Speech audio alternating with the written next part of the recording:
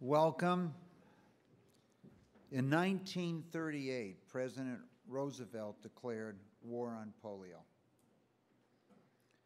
In 1950, it was estimated that the cost of polio by the end of the century would be $100 billion a year.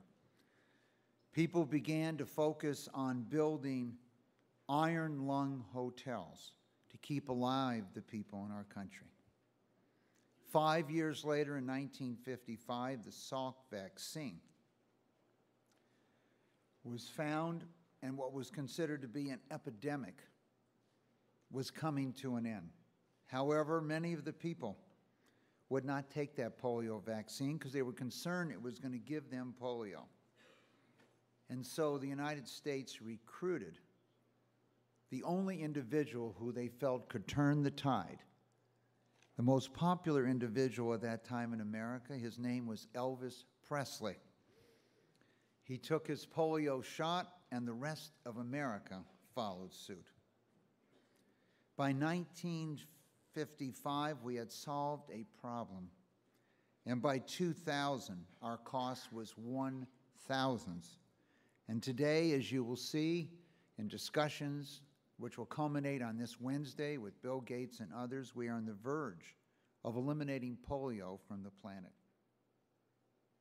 In the 1980s, a young woman whose husband was a star on a show called Starsky and Hutch got HIV and AIDS from a blood transfusion. There was more than a 90% probability that would be passed on to your children.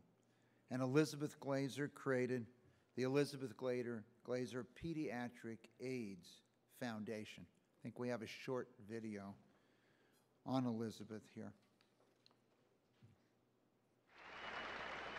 My daughter lived seven years. And in her last year, when she couldn't walk or talk, her wisdom shone through. She taught me to love when all I wanted to do was hate.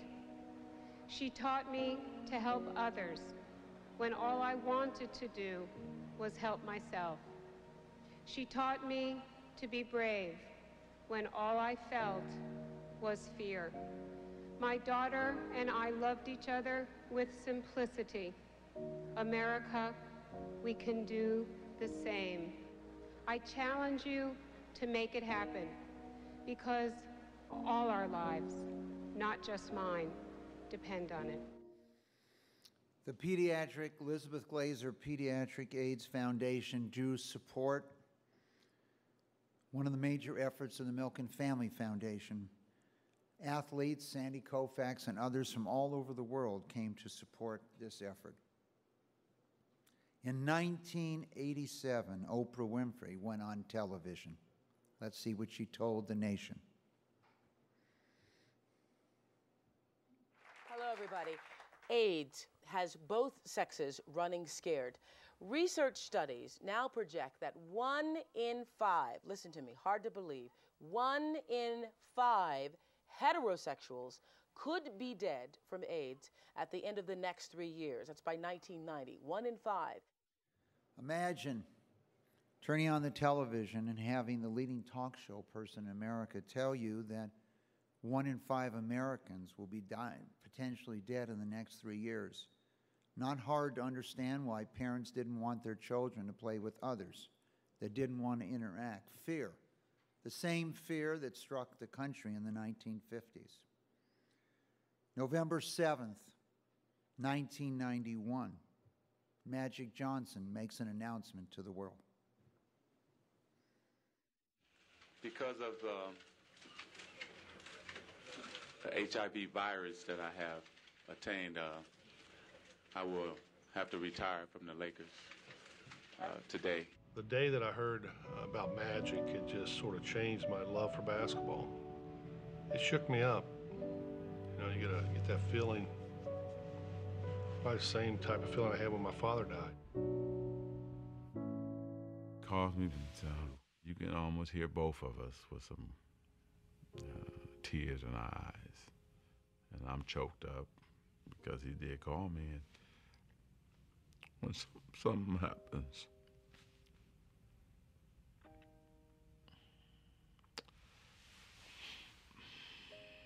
To you.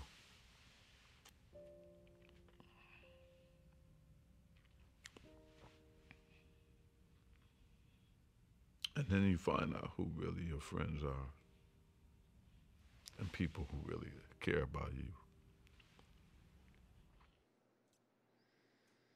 2012, Washington, D.C. celebration of science. The Berlin patient, Timothy Brown, the first person in the history of the world to be cured of AIDS due to a recent bone marrow transplant. And this young, dynamic individual, 22 years, 21, 22 years later, Magic Johnson, alive and well with that broad smile and enthusiasm, joins Tony Fauci, who's devoted his life to this effort on stage at George Washington University. The opportunity for all of us, the opportunity for science. The next challenge, there'll be many Alzheimer's, aging, etc. But we're lucky we have one of the world's most dynamic individuals alive and well and smiling again in Magic Johnson. David Ho, the Time Man of the Year, Scientific Director and CEO of the AIDS Research Center with us. And who better than Al Michaels to tell us the story? Thank you for joining us today.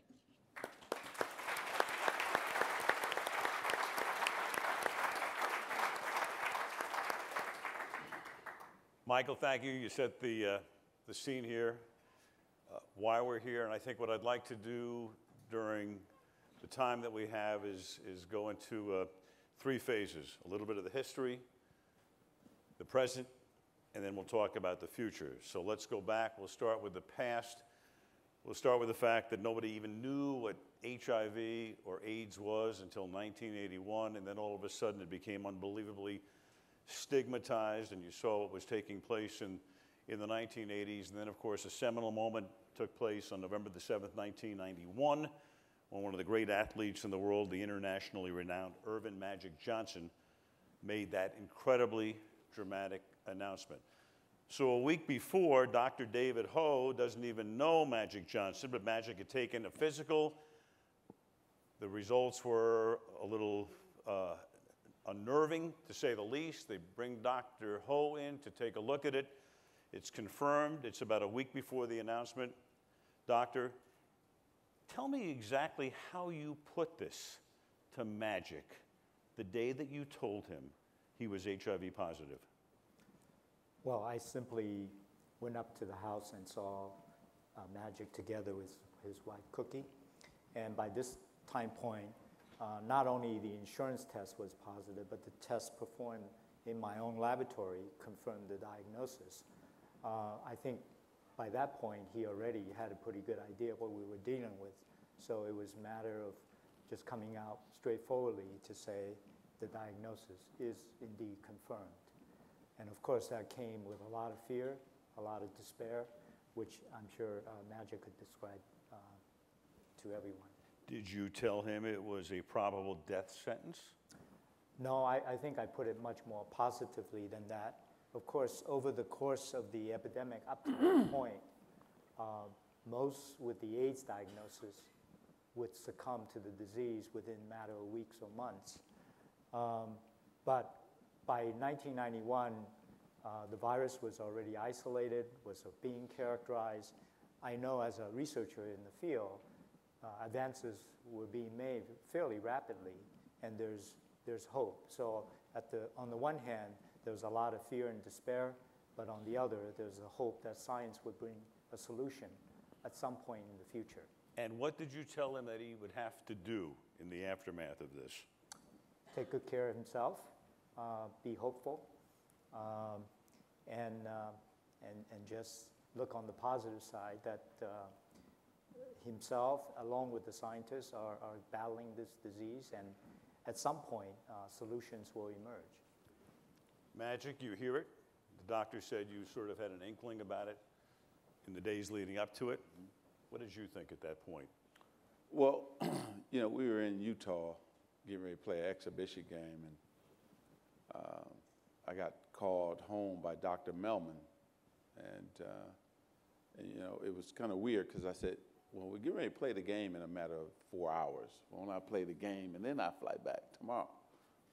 He said, "No, you got to come home now." So I flew back, and uh, you know, Al, when when you think you've done everything right, you know, you made all the right decisions, the right moves, and then to sit down in the Dr. Mellman's office and he began to tell me that I had HIV. It was, it just, uh, it was devastation, frustration. I mean, it was, it's just, you're in disbelief, you know, and so you, you have to sit there for a minute and collect yourself with the news you just heard. And so, not only was it devastating for me, but also my wife Cookie was pregnant with our son EJ at that time.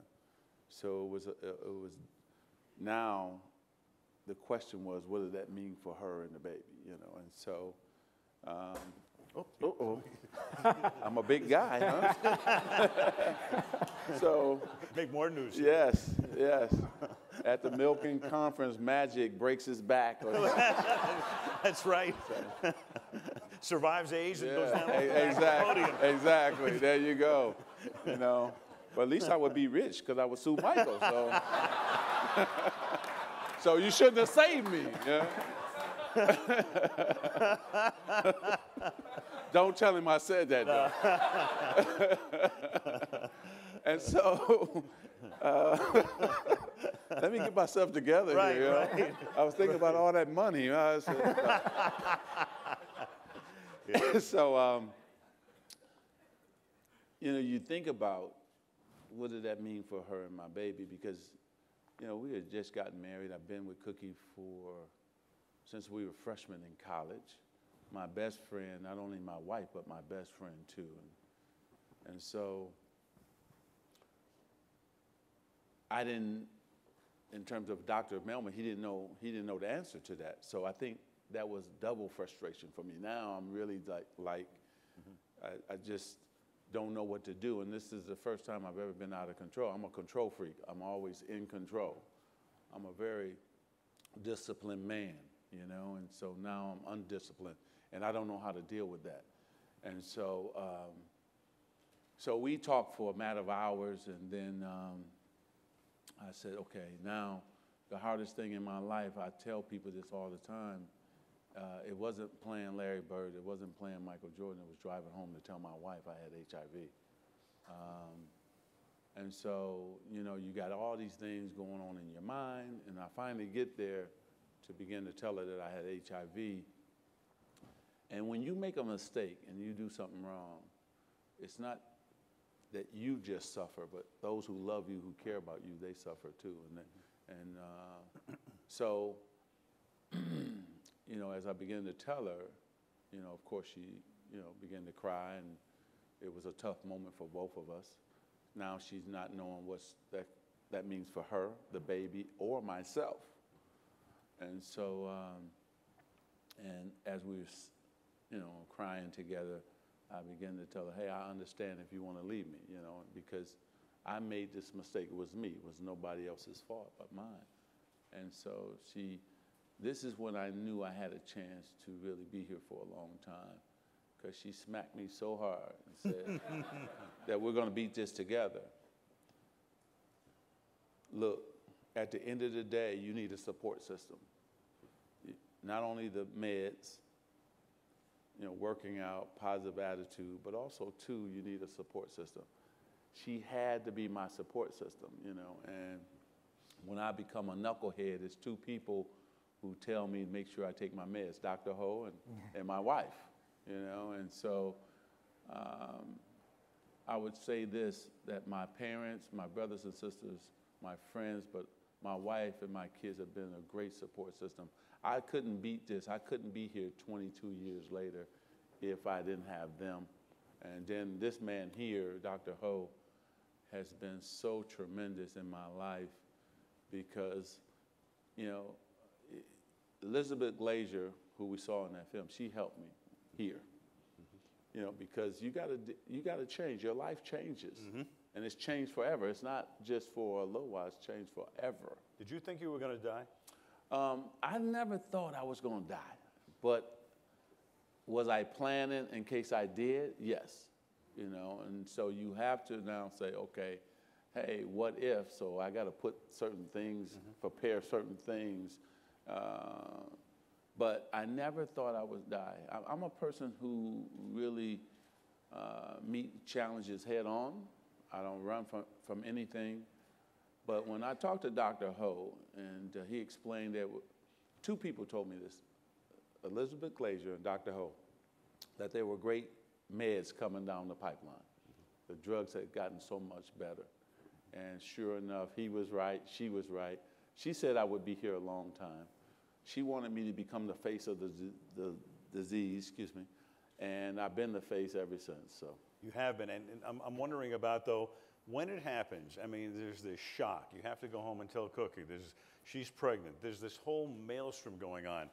If you're working in uh, in an aircraft plant in Wichita, Kansas, and this happens to you, you can live with it in privacy and nobody knows about it.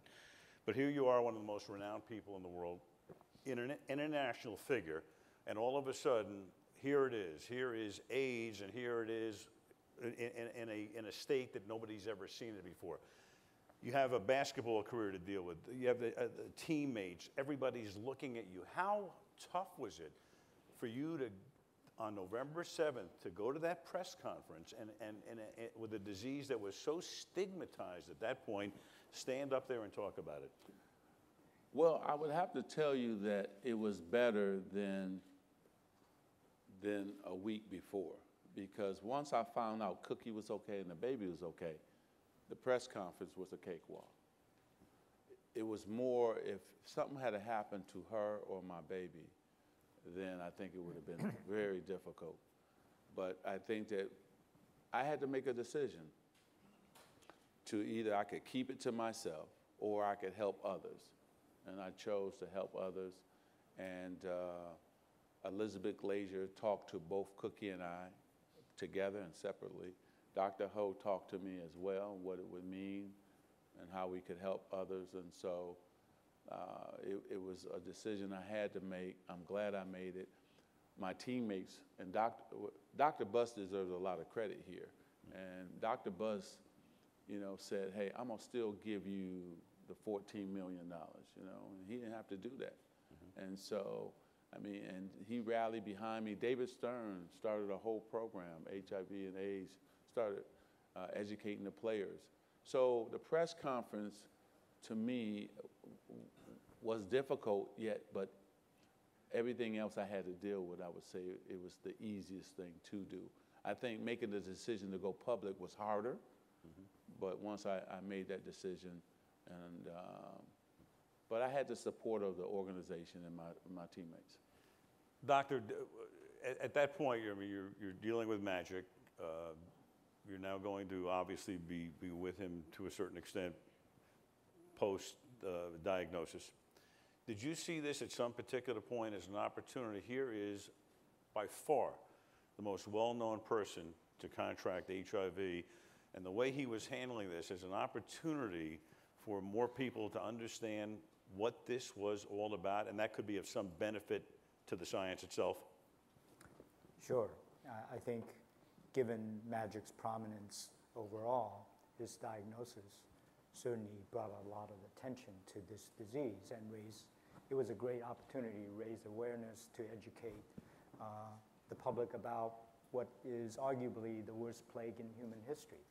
So, uh, personally, I didn't do too much of a role, but the coverage surrounding Magic's announcement certainly did a great deal to raise awareness nationally and internationally. Talk about as, as the 90s progress a little bit, because I mean, at that point, everybody thinks it's a death sentence. I mean, at least the general public does, and they're going three to five years, maybe less, maybe a little bit more. At what point has the 90s evolved, and you were the Time Man of the Year in, in 1996 because tremendous strides were being made in this? At what point did it stop becoming a certain death sentence? really the, the turning point was 1995, 1996. So by the time of Magic's diagnosis in 91, drugs were coming along, but we only had two or three so-so drugs available to treating physicians. And Magic did take some of those, but they did not adequately control the virus. but in the laboratory, we knew that there were newer and better drugs coming along, even as early as 91. That's why I was able to be more hopeful when discussing the issue with, with him. and, and some of them were getting into clinical trials, so we know they were around the corner. And unfortunately, Elizabeth Glaser did not benefit from that. She just got, if she had lived six more months, she would have full benefit. Mm-hmm. But uh, the turning point was really in 1995. We learned that two of the drugs could be combined effectively, and by, by late 95, we knew three drugs could be combined very nicely to control HIV. And so you could say 96 was the turning point for the epidemic because it was an automatic death sentence for 99% of the infected individuals prior to that. But after that, for at least in America and other developed countries, we could control the large majority of our patients with a combination of drugs. So the virus is not gone, but is under control, and the immune system is allowed to repair itself, and typically a patient uh, regains normality and, and functionality so that uh, he or she could live a, a, fairly normal life, and that's what we have today. So, so Magic, in the, in the early 90s, from the time you get H, you're HIV positive to when the doctor's talking about a nice little breakthrough here, I mean, you retire, and then you unretire, and you played on the dream team, you come back into the NBA, you're in the All Star game, you're coaching the team, right. you're a part owner, you got a lot of things going on in your life. How do you feel at that point? How do you, those those four or five years? Were, were you still scared? Were you still nervous? Were you optimistic? I mean, how, how did you work your way through all of this, knowing you had this other thing going on on the you know on the side? Well, I think that you know. Uh, First of all, it's just getting my head together that I would have to live with this the rest of my life. And then also, the thing I really had to deal with, which was difficult for me, was actually I was in the prime of my career, so I had to retire from basketball. That was so difficult, more difficult than telling the world. Yeah, you're 32 years old at that point. You know, and I'm saying, man, I, I gotta give up this game that I love so much. And um, what am I going to do to replace that competitiveness, the, the, the you know, coming down the tunnel with my guys, um, Coach Dunleavy and I and the team, we had just played the Bulls. We figure, I'm figuring we got another six, seven runs in terms of going to the finals. And uh, he had just come on as our coach. And I mean, it, everything was set up. I thought we was we had a, another three or four championships to win, you know. And so when you now I'm coming to the game and and and I'm not a part of it. I'm not a part of the boys, a part of the team, and so that was difficult for me to deal with. And I would have to say my wife turned my life around. I was really frustrated and depressed in a sense, not overly depressed, but you know, depressed that I wasn't playing. So she came home one day and she told me, Get out. Get out the room? No, no. Get out the house. And don't come back until you're the man that I married. I was like, uh oh. she said, Earvin, you've always wanted to be a businessman. You've always wanted to do more than just play basketball.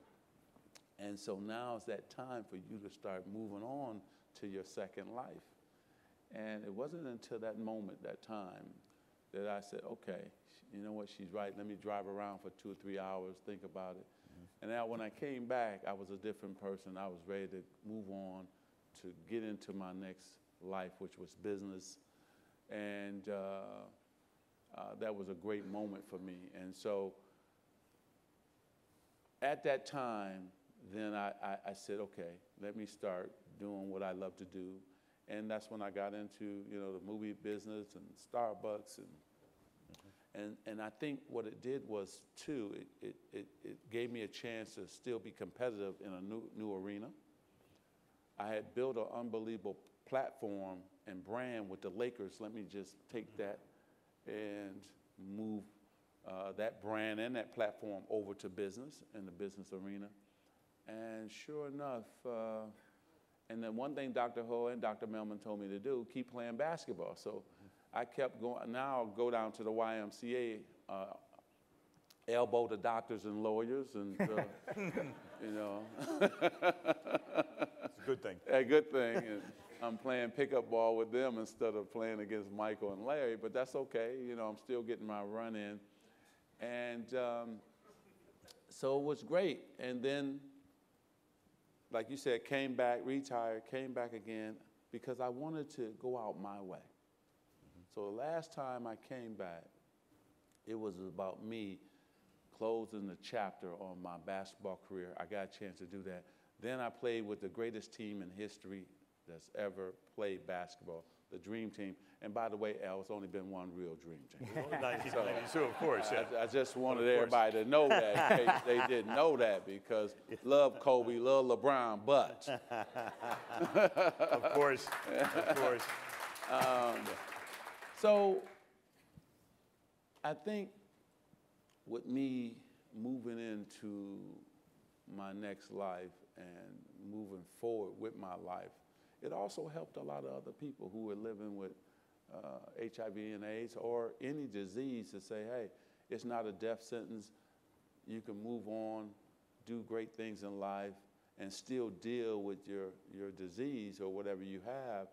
And uh, so I'm glad that I finally moved on. Well, when it happens, obviously, this is the elephant in the room in your life. I mean, Yeah.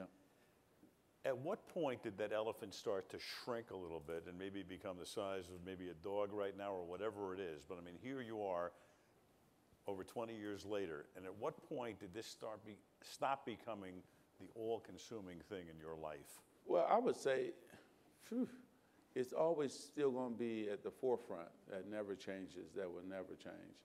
Uh, but I think, in terms of me questioning whether I'm gonna be here or, or you know, when I got a cold, I'm calling Dr. Ho, or you know, you you feeling bad, Dr. Ho, am I, you know, Dr. Melvin. So now, with the the the regiment that Dr. Ho has me on, me making sure I take my meds and doing what I'm supposed to do, I don't even worry about it now.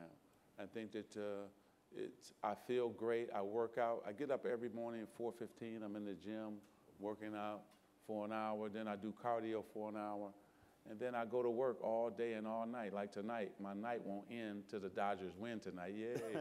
um, In 17 innings. exactly. You know, and so um, so you're talking about 10, 10, 30, then turn around, do it all again tomorrow. So I think that it, you never start thinking about it, but I think the last probably 10 years, you haven't really been like, okay, worried about whether I'm gonna be here. Because the only thing I wanted to do was to grow old with my wife, walk my daughter down the aisle, and make sure my two sons, you know, became men. And so, uh, so far, I've been in a position to do all those things. And uh, thanks to that man there, Dr. Ho, and uh, sometimes your healthcare provider, your doctor, he has to be more than just uh, giving you a prescription and giving you the drugs. Dr. Ho has also been like a guy that you can, a sounding board, so I can talk to him about many things. And then he also did a great thing in China where he brought myself and Yao Ming together and we did uh, PSAs because that was important because um, now HIV and AIDS is all over the world. And so what he did for China and the people who live there, bringing uh, Yao Ming and I together to do those public announcements, service announcements, was really great. So I owe him a lot, and I'm glad that he's my doctor, friend, uh, all in one. For, for over two decades. Doctor, what was the original regimen for and the treatment for magic, and how has that evolved and changed, if it has at all, through the years? I think uh, when Magic was first diagnosed, he was simply placed on uh, what most patients were taking, and that, that was one drug at a time, starting with the drug called AZT. But uh, by 94, 95, there were better drugs, and Earvin was able to get on some of the earlier combinations slightly ahead of the, the, the public um, and, and benefited from that. And from that point on, it's been a triple regimen of various drugs. Uh, they've been modified over time. I don't think there's a need to go into specific compounds. Um, and, and by and large, the virus uh, has been under control, and his immune system is now better than 20 some years ago. Right. Uh, so it, it, but I need to stress this is not an exception. This is the rule. This is what we see with most of the patients who are uh, well treated these days. Um, virus under almost complete control. Uh, but I have to emphasize the virus is not completely gone. Right. So outside of the so-called Berlin patient, uh, no one has been really cured of HIV infection, and that that the curative regimen used for that Timothy Brown, the Berlin patient, is something out of the ordinary. It's not going to be done on every subject. So a cure is still not in reach. Uh, and of course, we don't have a vaccine uh, that will protect against transmission of the virus. And is Africa still the biggest problem area? Uh, of course, particularly in southern Africa, where in countries like uh, South Africa, Botswana, you could be confronting one in four or one in three adults uh, infected with HIV. That kind of prevalence is certainly uh, frightening. And about, overall, about two thirds of the world's cases reside in sub Saharan Africa. Uh, I said earlier that this is, in my view, the worst plague in hu- human history because we already have 25 million people who have died from this infection uh, and about 35 living with a, a lethal virus unless uh, it is treated. So uh, the enormity of this situation uh, cannot be uh, underemphasized. And still yet, the infection continues to rage on with about 7,000 new infections a day and, and about two and a half million cases per year. So despite the success we have, the epidemic is far from gone. Uh, and in fact, it rages on and, and requires uh, all of us to redouble our efforts.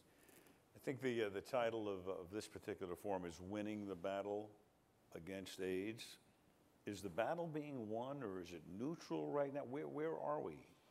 I, think we won a few battles with the, particularly on the therapy side. Uh, we have now uh, a therapeutic arsenal of about 30 different agents that we could, that our patients could use. And, and that's, of course, a great uh, scientific advance. In terms of understanding HIV, I would say we know more about this virus than we do for viruses that have been around for decades. So there's been enormous scientific progress, and yet we're, we're not winning the war against uh, HIV/AIDS. Uh, the epidemic is still spreading, uh, particularly in developing countries. But within the U.S., we also have uh, a, sh- a shifting epidemic. It began largely in the white homosexual community in this country, but it is now uh, different. About almost half of the new infections occur in African Americans. Two thirds of the new infections occur in African Americans and Hispanics, uh, when they represent uh, about only about a quarter of the uh, U.S. population. So the, the demographics have changed a great deal in this country, and yet the therapeutic success has resulted in complacency. And so to, to some extent, it's fallen off the radar screen, and that's, it's not good for educating the public, uh, raising awareness in general. And do you, think part of the fact that it, it, has, as you say, fallen off the radar screen, has that been a case of other diseases have almost, in a way, I don't want to say, not won a PR battle, but breast cancer has become so prevalent, and yet, you know, you have the National Football League having Breast Cancer Awareness Month, and guys wearing, you know, pink socks and pink uh, uh, wristbands and all of the rest.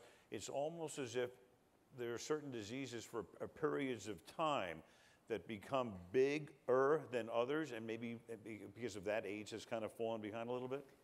Well, those efforts are, are, are good and justified. Uh, I think AIDS has fallen off because it's no longer uh, an automatic death sentence, as we discussed. Uh, I think AIDS also taught all of us a lesson in that AIDS would perhaps was the, the best example, is the best example of ex- exemplary activism by the affected community, particularly uh, by, by the gay community early on. They, they led the effort, they put pressure on the government, on the scientists, on everybody to do more, and, and no doubt that uh, facilitated the, the discovery process and, and drug development processes.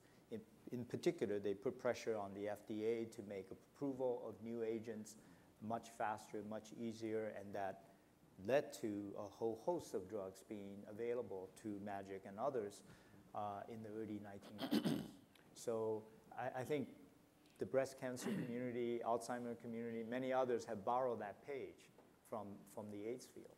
And Magic, you know, there's a lot of ways to spread the word, nobody's been able to spread the word as much as you have, especially domestically in, in this field. But you know, you know, you, you see all of the uh, PSAs out there. The uh, get get your uh, go- go for a breast cancer checkup. Go get your prostate check. Michael Milken, of course, uh, at the forefront of that. There are ways to get it out there. How do you get this out there, especially in the African American community right now? Well, you know, I've been all over the country speaking about it. Uh, and you have to go, first, I started at the black churches because, you know, the churches where uh, the pastors of those churches really is who we listen to. And so uh, now that they have joined the effort, uh, it took a while to get them to join, but they have uh, joined the effort in terms of educating uh, their congregation and the people who go to their church, uh, also the community at the same time. We have to do a better job with making sure we get the word out to young people because sex is up higher than it's ever been among teens.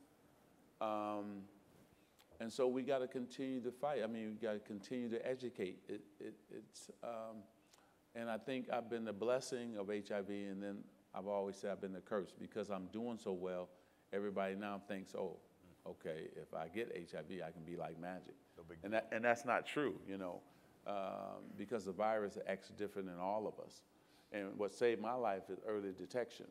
So that's why we urge people to go get tested, especially in the black and brown communities, because a lot of them find out too late, and now the drugs can't help them.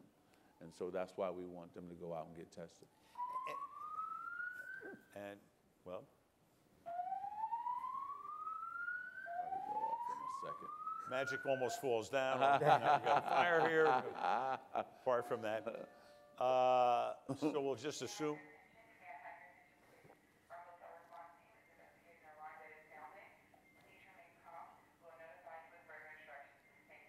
All right, so not in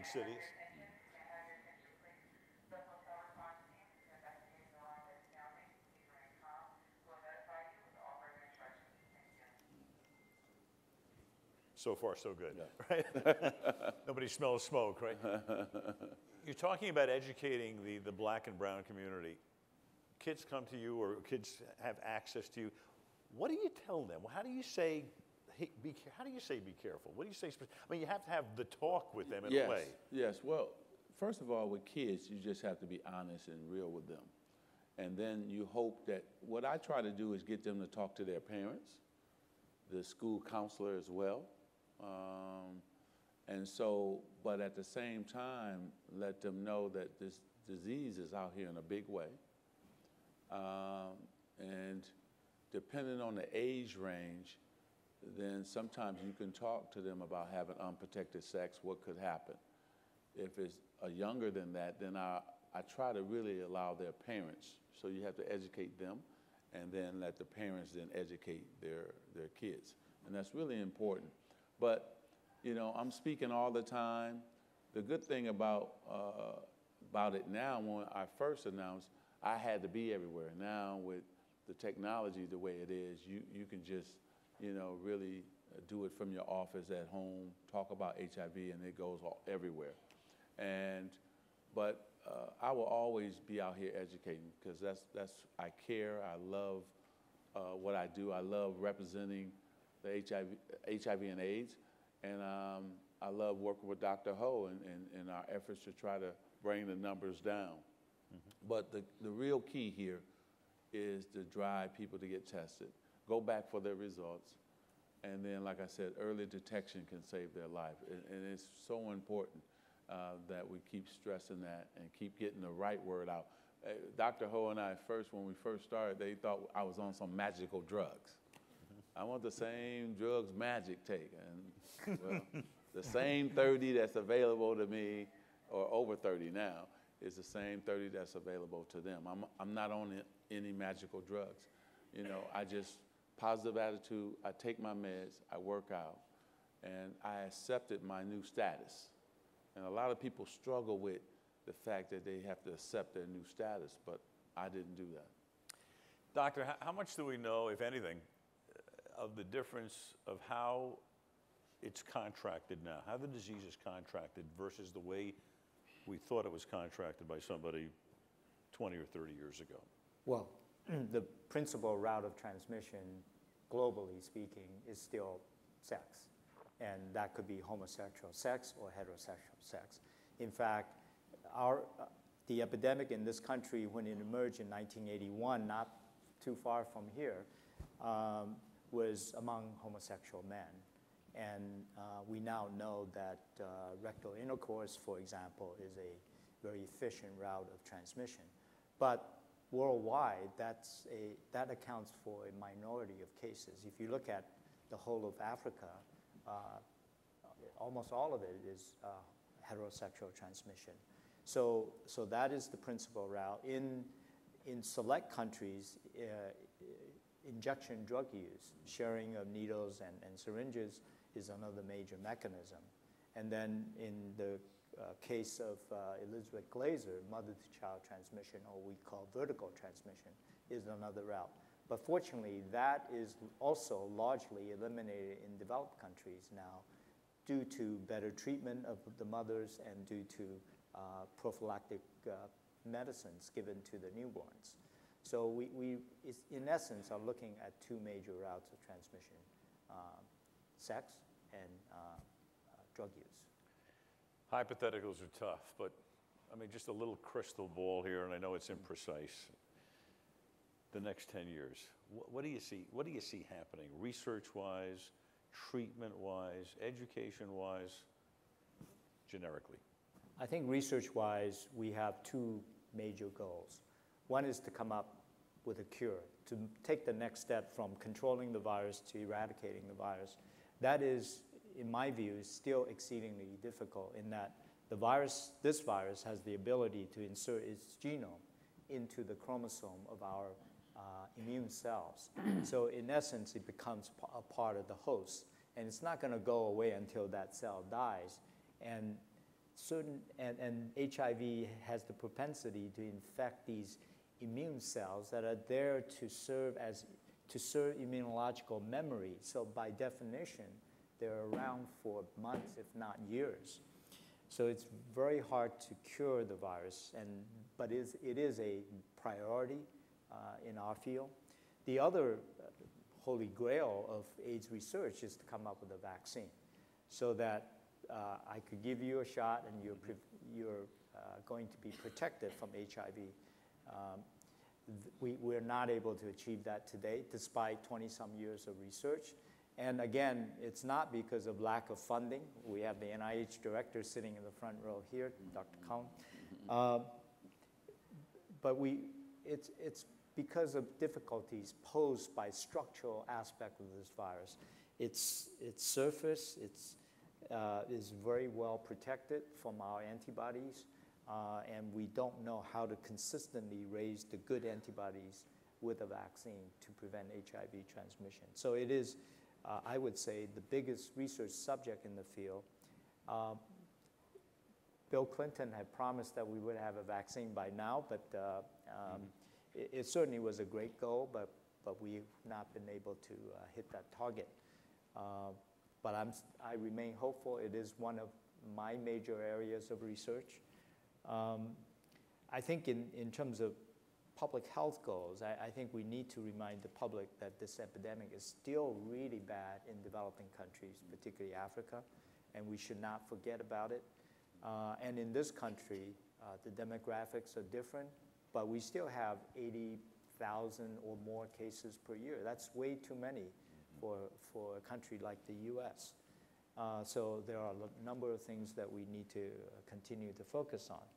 I think one more thing is that AIDS, AIDS research is really serving as a very nice model for many other fields and concerted action from a group of scientists, from our government, from, from the affected community led to a massive mobilization of, of talent and resources to come up with solutions that are saving lives today. And the, the, the therapies that, that Magic's been on are now being applied to even uh, sub-Saharan Africa. So uh, worldwide, about 7 million people have benefited from such therapies.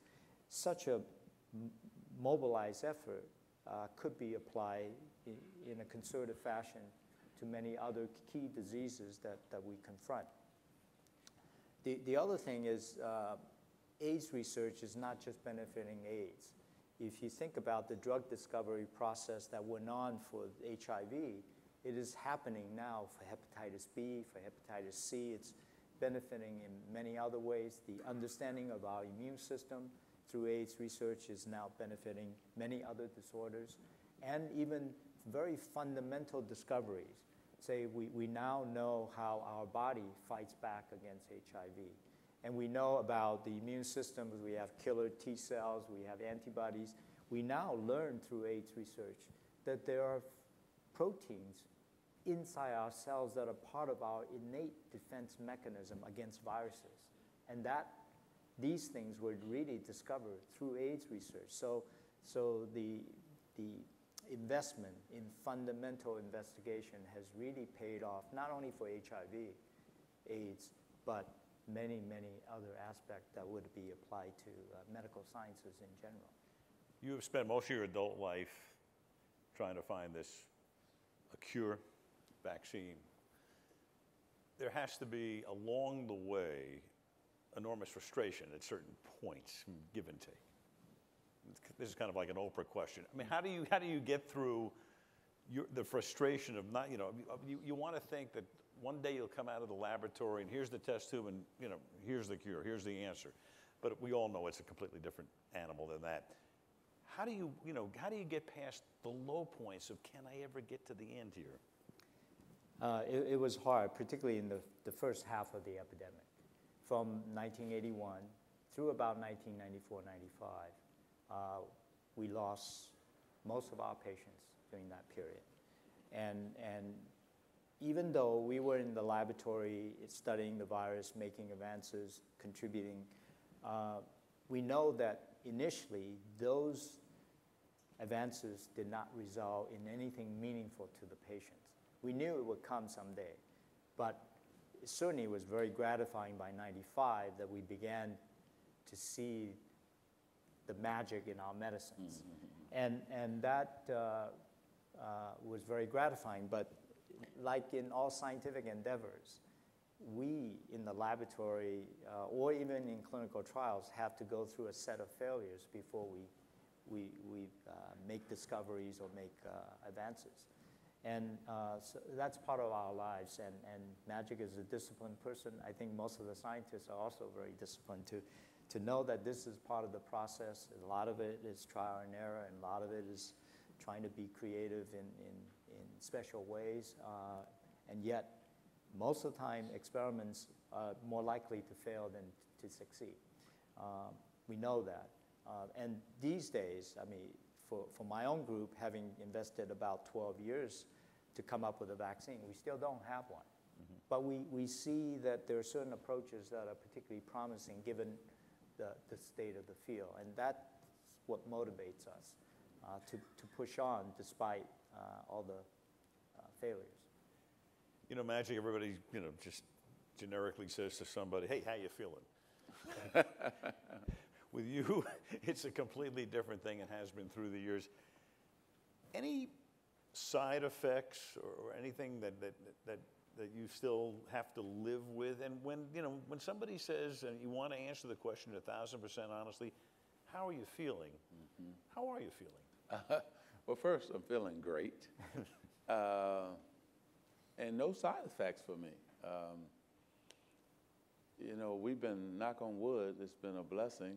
Um, when I first announced AZT was the only drug, then we went on the combination, but the difficult thing was some of it had to be refrigerated and some didn't.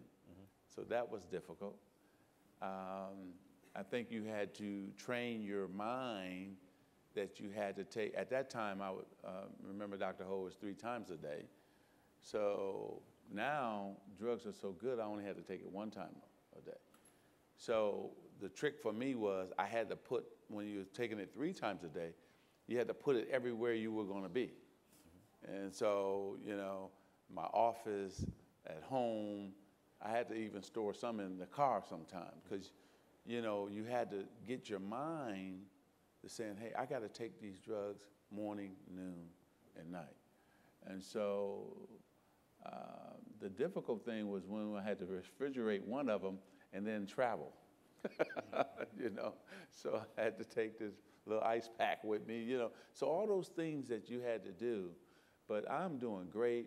The blessing is, is no side effect. The only thing I had to get used to in the beginning was when I was on the treadmill or running, uh, I just had to, my body had to get adjusted to taking meds and that much medicine. And so, uh, uh, did I had to throw up a few times? Of course.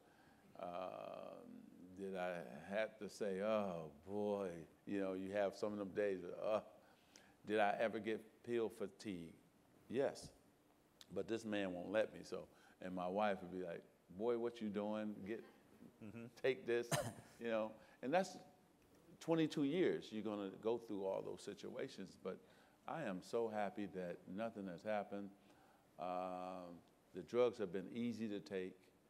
Um, You still have a big steak and pasta, right? yes. Okay. You know, you and I still got to go to Toscana and have our pasta and But of course. Um, but for me now, uh, I think my diet has changed dramatically. You know, now I do protein shakes in the morning. Uh, I, I probably eat healthier now than even when I played, and so that's been been a, a great thing. Uh, in the last couple of years, it was a, a focus of mine to lose about 40 pounds. I've done that. Um, I'm, I'm really in game shape. I should have played point guard the last four games. There might be one, there might be one more comeback, One huh? Steve, the, the two Steves went out. I said, man, well, hey, one game, what, what, what, harm would it do? Huh? But um, Yeah. we won't talk about the, the season for the Lakers. But no, I'm feeling great. I play, you know, I can play basketball, I can run, I can lift weights, I can do everything. But I, I'm a worker, so I have long days. So thank God that the medicine is good and that I, I, I, I'm in a good frame of mind. Doctor, I think we've covered a lot here. We're down to the last couple of minutes according to the clock. So just maybe a summation, maybe something you'd like to say that we haven't covered, maybe a, just a little synopsis of, of what, what you would like to be out there that's not out there right now.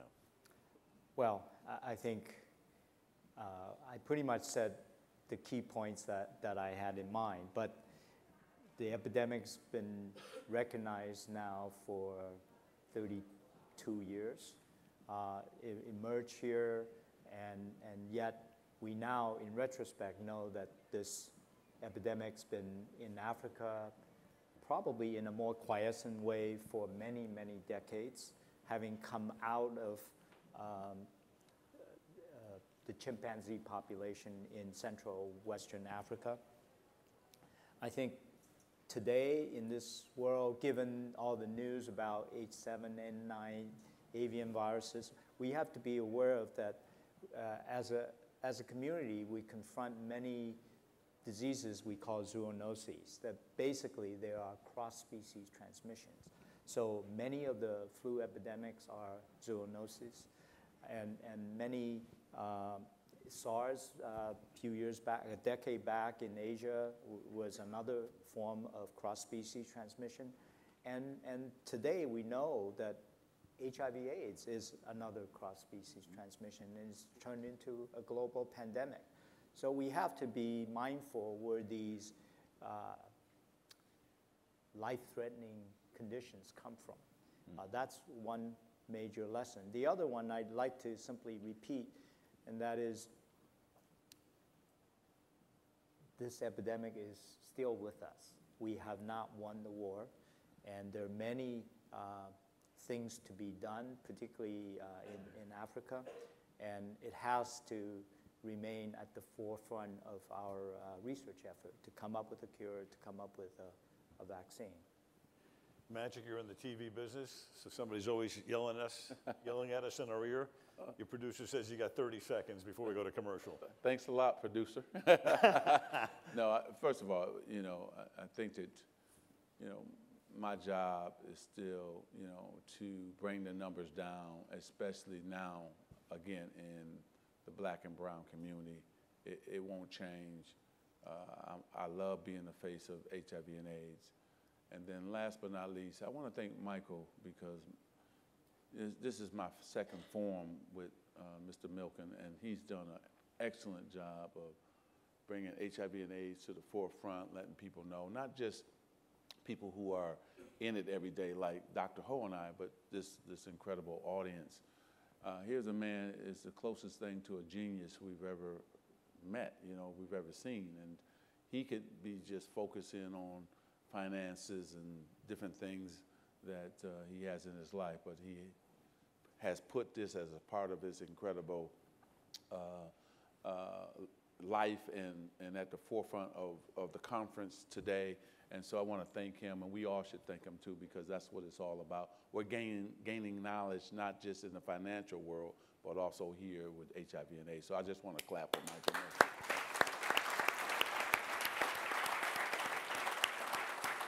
Dr. Ho, you've done phenomenal work. Thank you. Just a pleasure to be with you today. Magic, you're a friend. magnificent man. Thank you. Thank you. And that's it.